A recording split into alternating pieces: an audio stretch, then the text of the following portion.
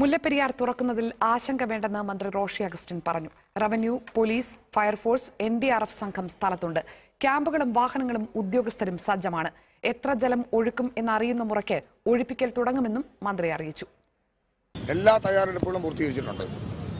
നമുക്ക് അത്തരത്തിലുള്ള ജനങ്ങളെ ബാധിക്കുന്ന യാതൊരു സാഹചര്യവും നിലവിലില്ല.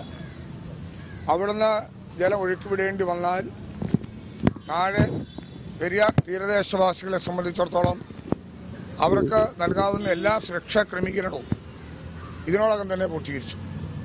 ഇന്നലെ റവന്യൂ മന്ത്രിയും കൂടി ബന്ധപ്പെട്ട് മീറ്റിംഗ് നടത്തി ആരൊക്കെ എത്രയൊക്കെ കുടുംബങ്ങളെ ഒഴിപ്പിക്കേണ്ടി വരും ആർക്കൊക്കെയാണ് ചുമതല. റവന്യൂ മന്ത്രി വളരെ കർശനമായ നിർദ്ദേശങ്ങളാ നിലയിൽ റവന്യൂ ഡിപ്പാർട്ട്മെന്റിനും ഡിസാസ്റ്റർ എന്ന നിലയിലുള്ള പ്രവർത്തനങ്ങൾക്ക് നൽകി കഴിയും.